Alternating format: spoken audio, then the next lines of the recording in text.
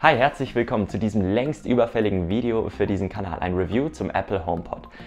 Die letzten Monate konnte ich mir verschiedene Amazon Echo und Google Home Geräte angucken, habe die auch miteinander verglichen, verschiedene Smart Home Geräte damit angesteuert und so weiter.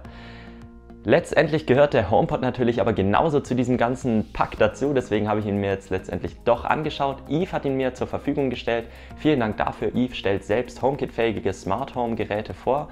Link zu Eve natürlich in der Videobeschreibung. Warum der HomePod letztendlich sogar meine Hauptzentrale jetzt für Smart Home geworden ist, erfahrt ihr in diesem ausführlichen Review. Viel Spaß!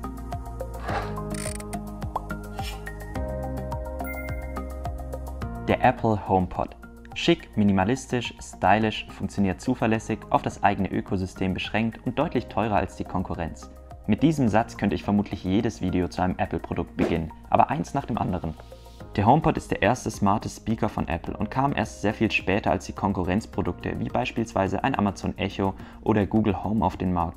Die Stoffummantelung des Geräts wirkt super hochwertig, aber wem erzähle ich das schon bei einem Apple-Produkt? Mir gefällt die Optik sehr gut, ja sogar am besten im Vergleich zu allen anderen aktuell erhältlichen smarten Lautsprechern. Das bleibt natürlich jedem selbst überlassen und hier gehen die Geschmäcker weit auseinander. Ich habe sogar auch schon von einem einfallslosen und klobigen Design gelesen. Nun gut, Anschlüsse oder sonstige Tasten suchen wir beim HomePod vergeblich. Naja, fast. Die Oberseite besteht aus einer Art Display mit einer Touch-Funktion. Sobald ihr das Aktivierungswort Hey Siri sagt, beginnt die Fläche bunt zu leuchten und euch wird signalisiert, dass die Sprachassistentin Siri ihr Signalwort erkannt hat und euch nun zuhört. Anschließend, wie es bei einem Sprachassistenten eben üblich ist, die Frage oder den Befehl nennen und schon wird alles umgesetzt oder beantwortet. Sobald ihr über den HomePod Musik abspielt, seht ihr einen Plus- und einen Minus-Button auf der Oberseite, mit welchen ihr die Lautstärke auch noch manuell ganz ohne Sprache anpassen könnt. Soweit so gut, das klingt ja alles super in der Theorie, aber wie schlägt sich der kleine Helfer im Alltag? Erstaunlich gut, wenn ihr im Apple-Universum lebt. Der Klang des Speakers ist einfach nur beeindruckend. Das Gerät bringt immerhin auch ganze 2,5 Kilogramm auf die Waage, nicht gerade wenig, aber kein Nachteil bei einem Sprachassistenten. Er wird ja ohnehin seinen festen Platz finden und muss kaum oder sogar gar nicht bewegt werden. Klar und trotzdem basshaltig, das ist mein Eindruck der Klangqualität. Die Maximallautstärke reicht auch mehr als nur aus. Mit dem HomePod als Lautsprecher kann man sich wirklich bewusst auf den Klang konzentrieren und die Musik genießen. Wie gesagt, solange man im Apple-Universum lebt, ist man hier klangtechnisch perfekt aufgehoben. Aber mal eben mit eurem Android-Smartphone per Bluetooth ein Lied auf den HomePod abspielen? Fehlanzeige. Ja, halb so wild, dann streamen wir einfach per Spotify unseren gewünschten Song auf den HomePod, oder? Prinzipiell möglich, ja. Allerdings sollte das Ganze immer per Airplay funktionieren, tut es aber nicht. In 90% der Fälle, wie ihr es hier seht, wird er bei mir einfach nicht in der Liste angezeigt. Kann am HomePod oder an Spotify selbst liegen, weiß jetzt nicht. Deswegen ist es auf jeden Fall kein schönes Erlebnis und letztendlich will man bei einem Sprachassistenten natürlich auch die Musik eigentlich per Sprache regeln können. Das würde hier sowieso nicht gehen. Da bleibt euch dann nur der kostenpflichtige Abo-Dienst Apple Music übrig. Hat natürlich auch eine große Auswahl, allerdings habe ich mich in letzter Zeit so an Spotify gewöhnt, dass ich ja, nicht wechseln werde und für mich da auch ein Wechsel nicht in Frage kommt, auch wenn Apple Music große Auswahl bietet. Außerdem gefällt mir sehr gut, dass die sechs verbauten Mikrofone des HomePods dafür sorgen, dass der Klang optimal im Raum verteilt wird, denn er erkennt, wo die Wand ist und wo der Raum offen ist und kann so den Klang optimal anpassen. Seht ihr es nicht ein, für Musik zu zahlen, könnt ihr immerhin den kostenlos nutzbaren Radiosender Beats One von Apple auf den HomePod streamen. Dieser ist mittlerweile sogar einer meiner Lieblingsradiosender geworden. Ernsthaft. Per einfachem Zuruf von Spiele Musik ohne jegliche Vorkonfiguration wird der Sender dann prompt wiedergegeben.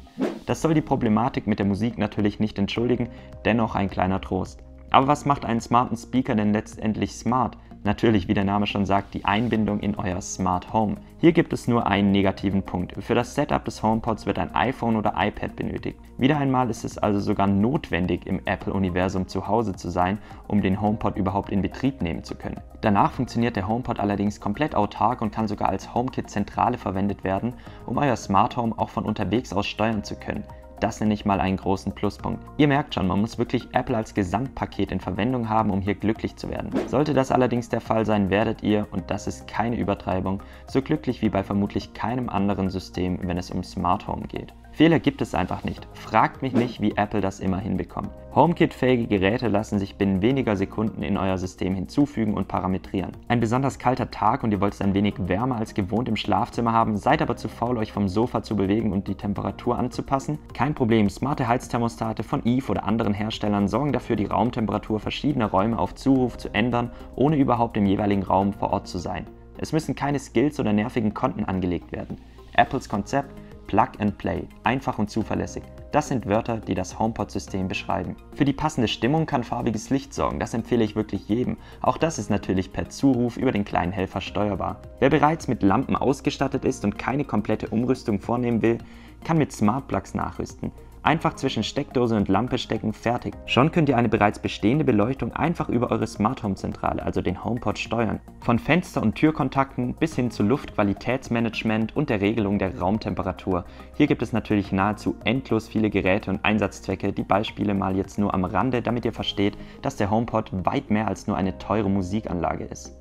Die Steuerung eurer smarten Geräte funktioniert so zuverlässig wie nirgendwo sonst. Die Spracherkennung ist anderen smarten Speakern ein wenig voraus, ihr werdet immer perfekt verstanden. Leider kann man das von der Intelligenz der Sprachassistentin Siri selbst eher weniger behaupten.